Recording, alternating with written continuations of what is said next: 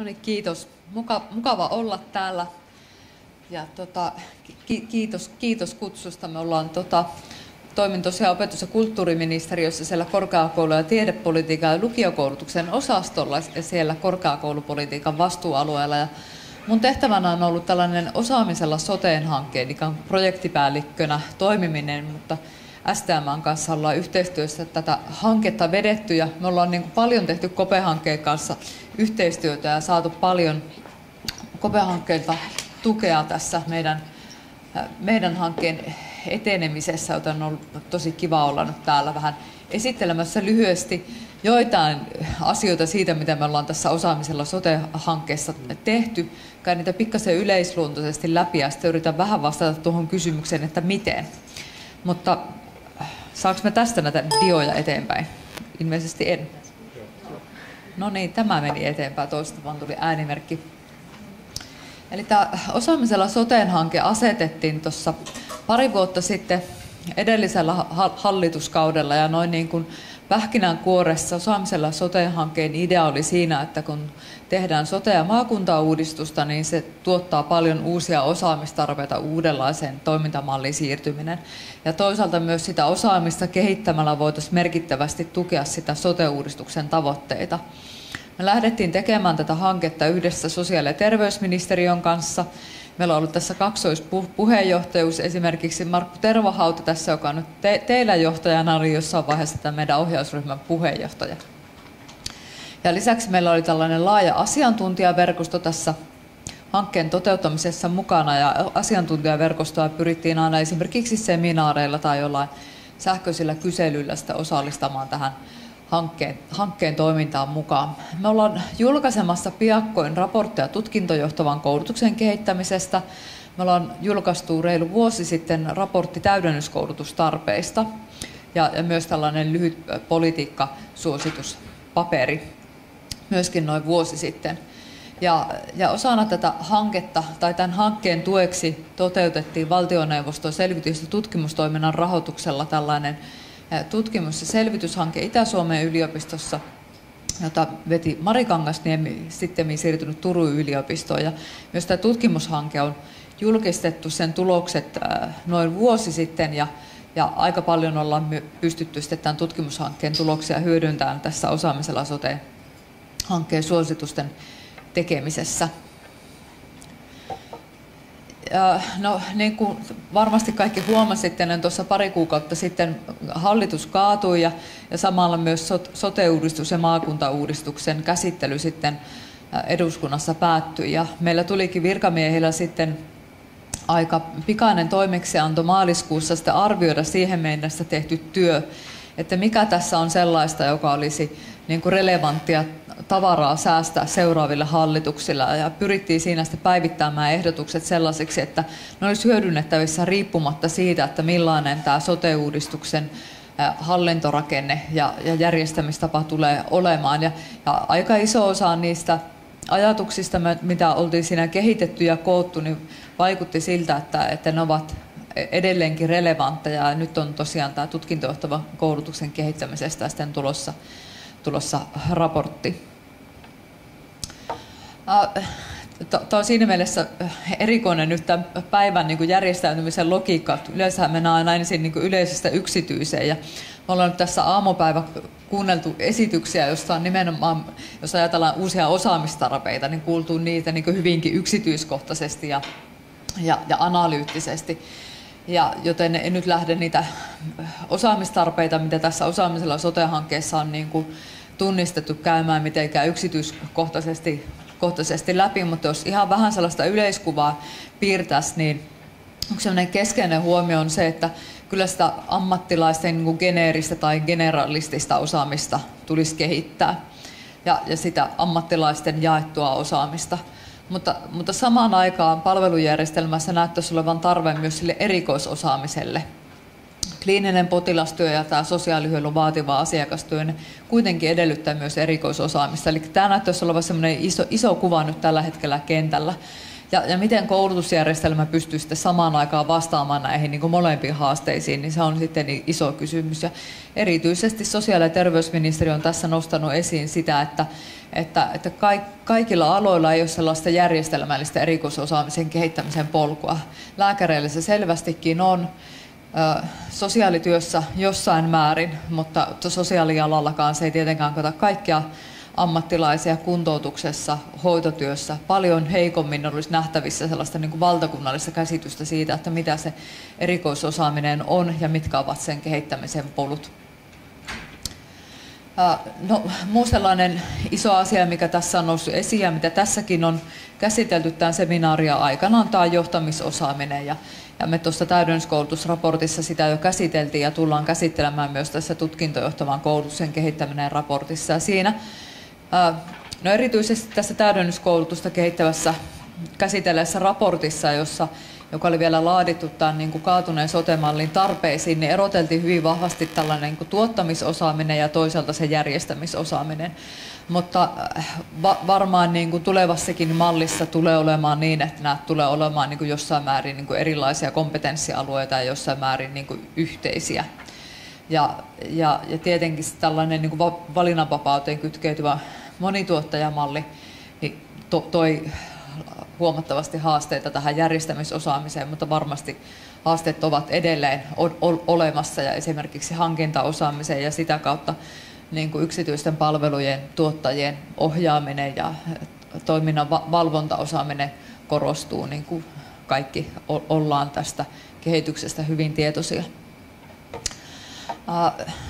Tämä tutkintojohtavan koulutuksen kehittäminen raportti, sitä ei ole vielä julkaistu, mutta mä nyt rohkenen tässä käyttää tällaisen kuvan, joka, joka äh, sitten kertoo aika paljon äh, tästä kokonaisuudesta. Eli tässä äh, sinisellä kolmiossa on kuvattu tämmöinen niin kutsuttu triple aim, eli sosiaali- ja terveydenhuollon uudistamistavoitteet, ja siinä näet keskeiset, keskeiset tavoitteet, yhdenvertaisuus, asiakaslähtöisyys ja kustannusten kasvun hillintä.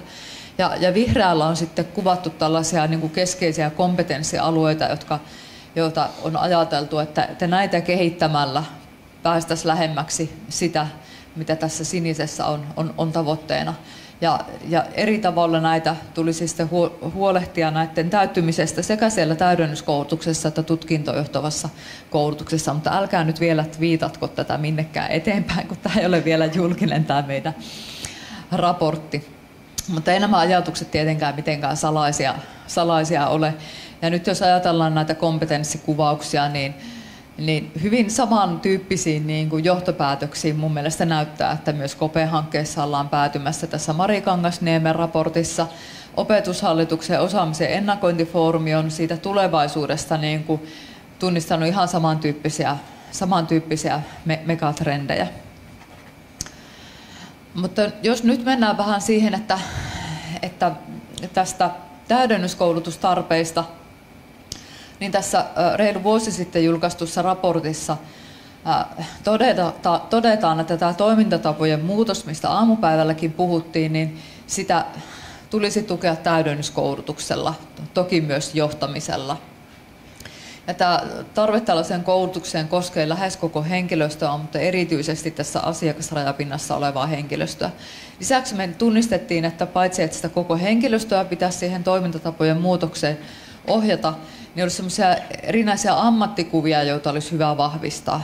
Esimerkiksi laajavastuinen hoitotyö. Tässä hyvänä esimerkkinä tämä rajatun lääkkeen määräämisen koulutus ja on myös näiden fysioterapeuttien ja suuhygienistien tehtäväkuvien laajentaminen, mikä tuli tässä Exotenkin esimerkissä esille, että myös tällaista ollaan tehty.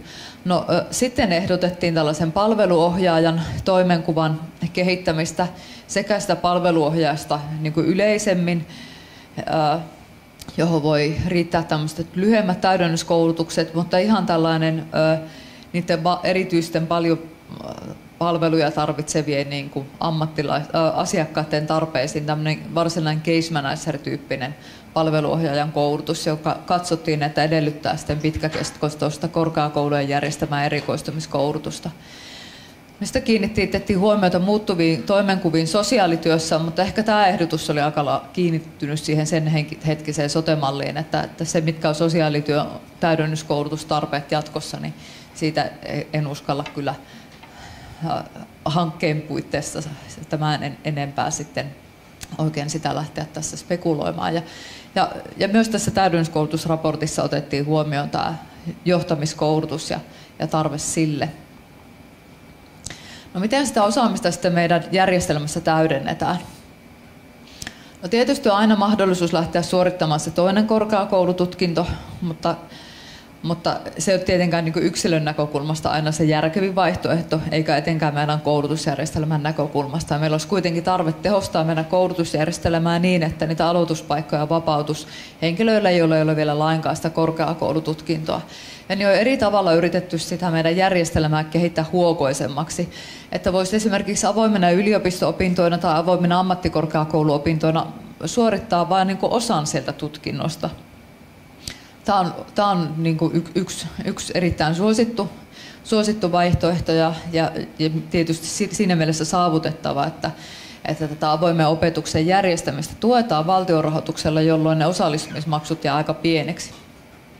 Sitä me pyritään kannustamaan ja tukemaan korkeakouluja eri tavoilla siinä, että korkeakoulut kehittää tällaisia digitaalisesti avoimia materiaaleja, joita voisi myös työ, työelämässä hyödyntää Meillä on korkeakoulujen erikoistumiskoulutuksen malli, joka on siis korkeakoulututkinnon jo suorittaneille tarkoitettua tällaista tutkimuspohjaista koulutusta. Sekin on maksullista, mutta maksujen niin kuin ylä, ylämäärää on, enimmäismäärää on rajattu, jolloin valtio tulee rahoituksella siinä vastaan, joten se on, on, on on vähän, vähän tuota markkinaehtoista täydennyskoulutusta edullisempi vaihtoehto. Ja sitten on, on nämä ammatti- ja erikoisammattitutkinnot. Mutta täydennyskoulutus, se mitä tapahtuu siellä työelämälle räätälöitynä koulutuksena ja työnantajan tarpeesta, niin se on sitten täysin sen työnantajan kustannettavissa olevaa koulutusta, ellei sitten henkilöt itse halua sitä täydennyskoulutusta hankkia, mutta aika vähän meillä ainakaan hyvin laajoja ja kalliita koulutuksia sitten suomalaiset itse, itse hankkivat. No, miten sitä tulisi järjestää? Erilaisissa kuulemissa, seminaareissa on osaamisella sote-hankkeenkin puitteissa korostettu esimerkiksi sitten näiden keissin läpikäymistä, jotta saataisiin ammattilaiset katsomaan sen potilaan näkökulmasta se palvelujen, palvelujen niin kuin kokonaisuus. Se, mikä nousi tuossa äh, Mari Kangasniemen ja hänen ryhmänsä raportissa esiin, on se, että meillä on aika paljon kehittämishankkeita Suomessa, hyvinkin paljon, mutta niissä raportoidaan aika heikosti, ei ole yhtenäistä raportointia. Ja on aika vähän sellaista, että systemaattisesti arvioitaisiin ennen kehittämishankkeen tai täydennyskoulutushankkeen niin kuin alkamista se lähtötaso, ja sitten katsottaisiin, että miten se osaaminen on kehittynyt. E- eli äh, tässä olisi aika paljon niin kuin kehitettävää. Pitäisi olla systemaattisempaa sitä osaamisen arviointia ja näyttöön perustuvia koulutusinterventioiden käyttämistä ja miettimistä, että millainen opetusmetodi toimii milloinkin. Kun saattaa olla jopa tapauksia, joissa on pyritty kehittämään vaikka henkilökunnan asenteita ja ne saattaa olla jopa huonommat sen koulutuksen jälkeen. Tämä on selvästi niin kuin asia, jossa tarvittaisiin vähän erilaista järjestelmällisempää näkökulmaa. Mutta erityisesti tässä nyt kaatuneessa sote- ja maakuntauudistuksessa, niin kyllä me havaittiin sellainen ilmiö, että kun henkilöstöily oli siirtymässä, sillä hetkellä ajateltiin, että henkilöstö siirtyisi kunnista maakuntiin, niin ei kunnilla ollut kauheasti intressiä satsata siihen täydennyskoulutukseen. Ja maakuntia ei tavallaan ollut vielä olemassa, eli maakuntien järjestämis, järjestäytymisorganisaatiot. Eli Eli kuka sen täydennyskoulutuksen muutostilanteessa sitten kustantaa ja organisoi, niin se on semmoinen niin iso, iso kysymys, joka sitten varmaan nyt jää sitten tulevankin hallituksen niin kuin pohdinnaksi, että jos sote- ja maakuntauudistusta lähdetään tekemään, niin mikä tulisi olla sellainen niin kuin malli? Pitäisikö meillä olla joku valtakunnallinen rahoitus tähän? Me järjestettiin osaamisella sote-hankkeen puitteissa pari tällaista yhteistyöalueseminaaria Kuopiossa ja sitten täällä pääkaupunkiseudulla. Ja kyllä sieltä tuli sellaista viestiä, että olisi hyvä, että alue tekisi enemmän yhteistyötä, että joka paikassa myöskään tässä osaamisen kehittämisen kysymyksessä niin kutsutusti tarvitsisi sitä pyörää keksiä uudelleen.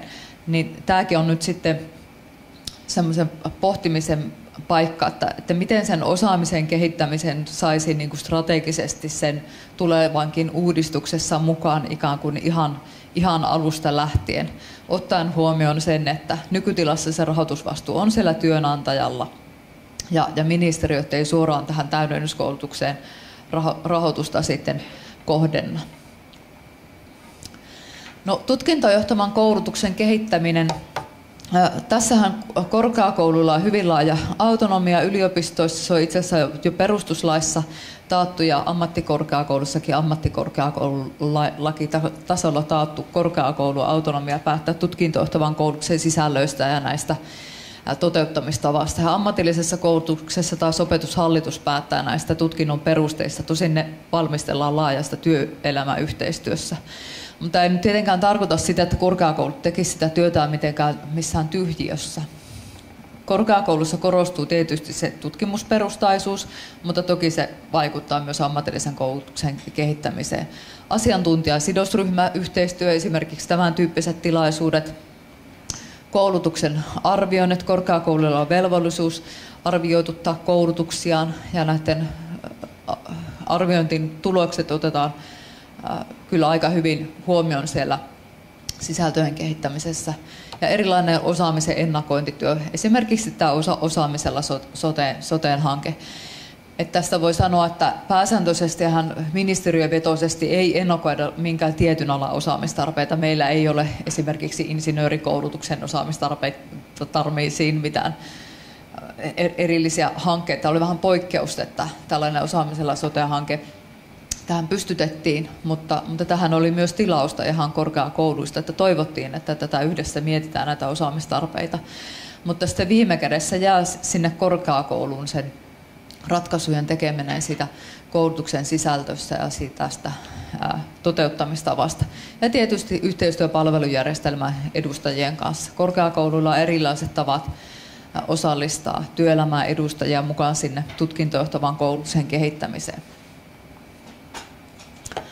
No mitä tämän tutkintojohtaman koulutuksen kehittämisestä on tämmöisiä isoja asioita noussut esiin. Minusta tuntuu, että nämäkin on suurimmaksi osaksi tullut jollain tavalla esiin noissa aamupäivän esityksissä. Yksi on esimerkiksi tämä sote-ammattilaisten yhteinen tietoperusta. Tarvitaan näitä sote-alan tutkinnolle yhteisiä sisältöjä, mutta tarvitaan myös tällaisia niin pedagogisia ratkaisuja on tullut hyvin vahvasti esille korkeakoulujen opettajat ovat itsekin sanoneet sen meidän monissa tilaisuuksissa, että nyt pitäisi siilot räjäyttää. Että, ja, ja, ja niin vaikuttaisi siltä, että niin kuin sellainen niin kuin halu muutokseen on aika suuri korkeakouluissa kehittää tätä koulutusta että pitäisi pystyä rakentamaan sitä ymmärrystä näiden tieteenalojen paradigmojen välillä, jotta erilaisilla ammattilaisilla olisi jaetumpi ja yhteisempi ymmärrys siitä asiakkaan parhaasta ja moniammatillisesta yhteistyöstä. Tämä monialainen harjoittelu on nostettu yhdeksi keinoksi tässä esiin. Samoin korostetaan sitä, että monialaisia opintoja pitäisi olla mahdollisuus suorittaa nykyistä enemmän ja nykyistä joustavammin. Esimerkiksi tämmöisessä ristiopiskelun esteiden purkamisessa on tietysti OKMlläkin oma, oma osuutensa. Me ollaan mahdollistettu sitä aika paljon lainsäädännöllä, mutta nämä digitaalisten ratkaisujen kehittäminen on tietenkin yksi tapa myös edistää tätä, tätä, tätä, näitä ristiopiskelun mahdollisuuksia. Ammatillisessa koulutuksessa on noussut esiin se, että näitä ammatti- ja erikoisammattitutkintojen tuottamaa osaamista tunnistetaan tällä hetkellä vähän, vähän liian heikosti työelämässä. Me saadaan viestejä siitä, että, että ammattihenkilö ammattihenkilöiden säätely tai ainakin tulkinnat tästä lainsäädännöstä on johtanut siihen, että saatetaan tulkinta, että, että täytyy olla joku sellainen tutkintojohtava koulutus, joka niin johtaa tällaisen ammattihenkilöstatukseen, mikä tarkoittaa sitten sitä, että henkilöt, joilla on esimerkiksi vaikka vanhustyön tai kehitysvammaan huolto suuntautuva ammatti- tai erikoisammattitutkinto ei sitten saa paikkaa työelämässä, jos eivät ole samaan aikaan lähihoitajia.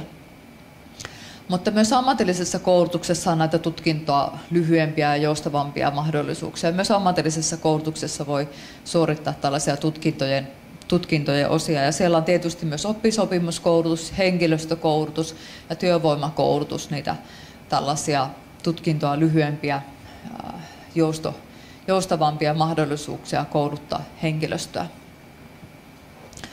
Me ollaan keskusteltu tässä osaamisella sote-hankkeessa myös harjoittelun merkityksestä ja käsitelty tätä teemaa. Ja me ollaan käsitelty myös osa, osaamistarpeita ja, ja, ja ennakointia ja tunnistettu se, että, että, että sote-alalla on tarvetta kuitenkin aika yksityiskohtaisellekin näiden koulutuksen sekä määrällisten tarpeiden niin ennakoinnille, että sitten näiden sisällöllisten tarpeiden ennakoinnille. Ja tämä ennakointi on yksi keskeinen edellytys sille, että näihin osaamistarpeisiin pystytään, pystytään vastaamaan. Lisäksi me ollaan käsitelty meidän niin kuin koulutusjärjestelmää kokonaisuutena ja, ja opiskelijoiden opintopolkuja ja tämän tyyppisiä kysymyksiä, mutta, mutta se avaa niin ison oman teemansa, että, että mä en nostanut sitä nyt tähän mun esitykseen sitten lainkaan. Mutta kiitoksia minun puolestani. Joo, kiitos. Ja tota, jää vielä hetkiseksi tähän siltä varalta, että haluaako joku antaa sulle vähän terveisiä tai kommentoida? Joo, ole hyvä. Kiitos. Tästä voisi varmaan keskustella vaikka kuinka pitkään. Mutta, Joo, mutta nyt se, ei ole aikaa. Joo, ei, en tarkoittanut, että puhun pitkään. Se nostit tuossa lopussa esille, että sielujen purkamisen ja monia, monialaiset tutkinnot ja esimerkiksi teknologian ja kasvatustieteiden, niin onko teillä ollut yhteistyötä Tampereen yliopiston ja Tampereen teknisen yliopiston tässä uuden, uuden yliopiston suhteen, koska siellä on erittäin hyvät mahdollisuudet tähän? No kyllä meillä ohjausryhmässä Kaija Holli oli Tampereen yliopistosta. Ja, ja, ja, ja kyllä niin kuin tavallaan sieltä tuli sitten paljon näitä tai esimerkkejä siitä, että kuinka tätä voidaan, to, voidaan sitten rakentaa tätä yhteistyötä. Että kyllä tällaisen niin esimerkkien kautta se, se tuli esiin kyllä. Mutta, mutta siis toki tehdään yhteistyötä korkeakoulusektoreiden välillä paljon muuallakin kuin Tampereella, mutta kyllä se oli tässä meillä esillä.